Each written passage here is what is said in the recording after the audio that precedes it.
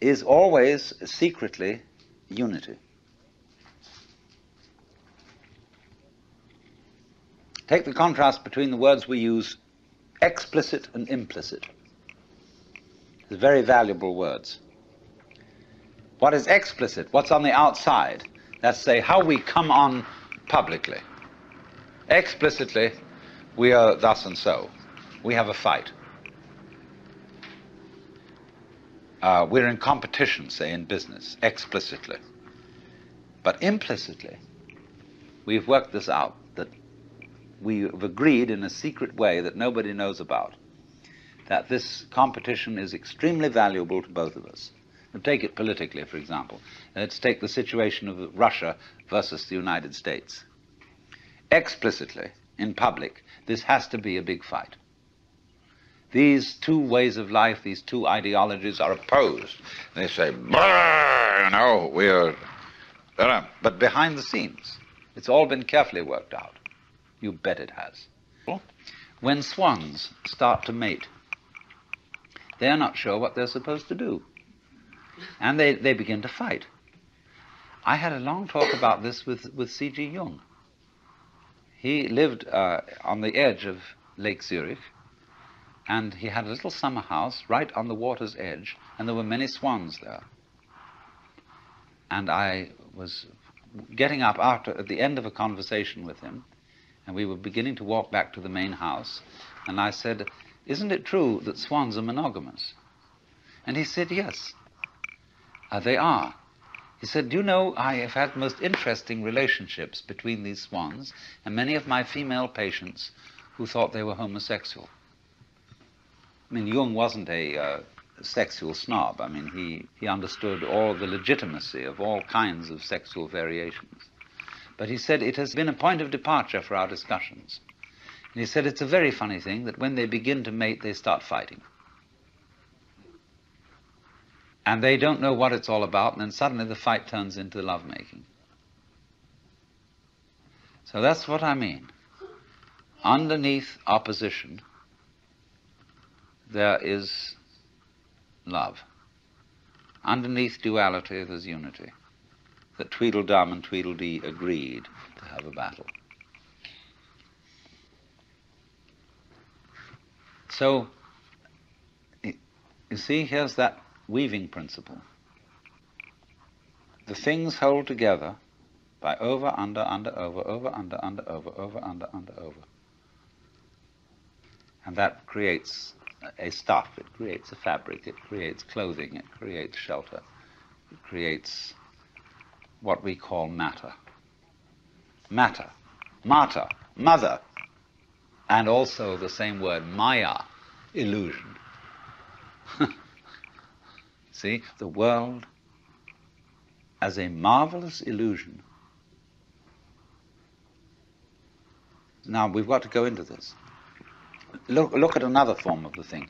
You can play it not only by two as one, but you can play it by three as one.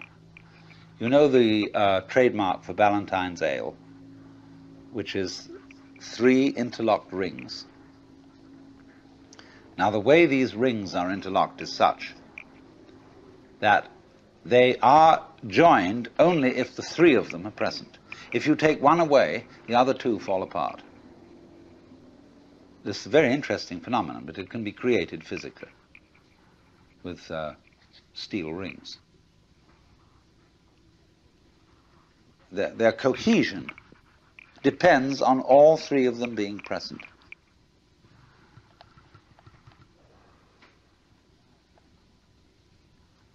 Now, we have tried scientifically to understand the world and explain its mysteries by analyzing the smallest, smallest particles of things that exist. Inquiring down, down, down, what is this thing we call flesh or call steel or stone? What is it made of? go down into the midst of it. And that's given us a certain understanding. But only half of the understanding. Equally important is not what is the tiniest particle, But in what context is the tiniest particle? You see? In, in relation to what is it? Just as the word bark, as I showed you, has different meanings in different sentences. So, cells, molecules, atoms, have different properties in different contexts. So, what uh, the scientist equally needs to study is not simply what is anything when very, very minutely analyzed, but where is it? When is it? That makes all the difference. So, do you see that a lot of people who get anxious when they hear that everything is relative have no, no need to get that anxious? Relativity isn't some kind of slippery morass in which all standards and all directions get lost. Relativity is really the soundest situation that there is. See, it's the, it's the one supporting the other. It's this thing. Do you know this? This is wonderful. X marks the spot. Imagine this going on and on. Supposing my finger were indefinitely long, both fingers, and they were doing this. See, they're just crossing each other. Now, on one side of it, it's a pair of scissors, and it cuts. What is it on the other side? Why, it's opening female legs, saying, please come in. This utter softness, utter receptiveness. On the other side, it's but on this side, it's please, please, please, please, yes. Welcome. and everything's based on that. See, it's this way sharpness, teeth, biting, spines, crab shells, all that kind of thing, you know. On the other side, it's the melting softness of life. See? They go together just like that.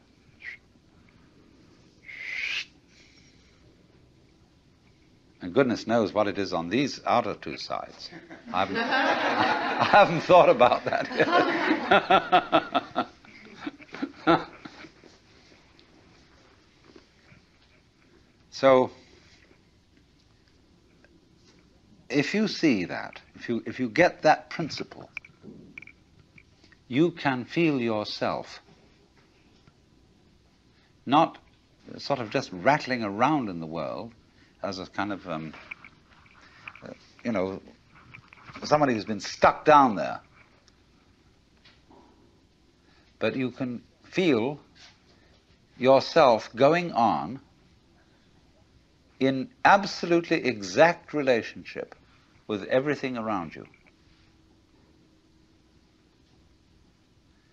And this is very beautiful.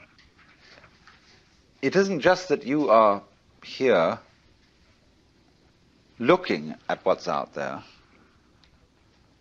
like you might be photographing it with your eyes. It's that if that there wasn't there, you wouldn't be here.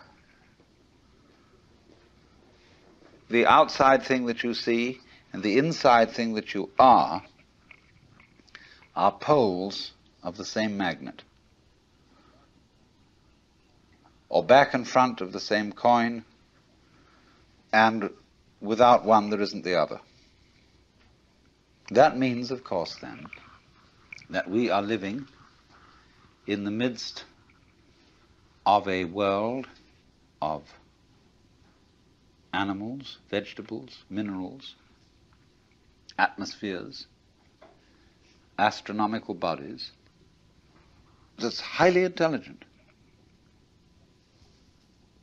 its intelligence concentrated, crystallized in our brains. That's where it comes out, you see. In any field, let's say, uh, let's take any field of forces, we take a chemical solution, And at certain critical points in this chemical solution, the crystals start to form. And so, in the same way, the total intelligence of this whole universe crystallizes in human brains. Also in other kinds of brains. But that's where it really comes out. But it's the total intelligence of the whole field that does this.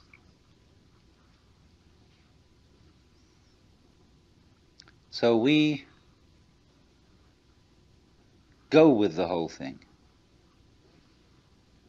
interdepend with it.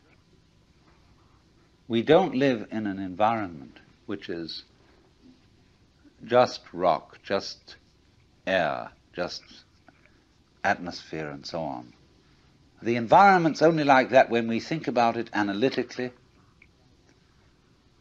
and try to explain it. But when we think of it isn't just rock and air, see, but those things go together.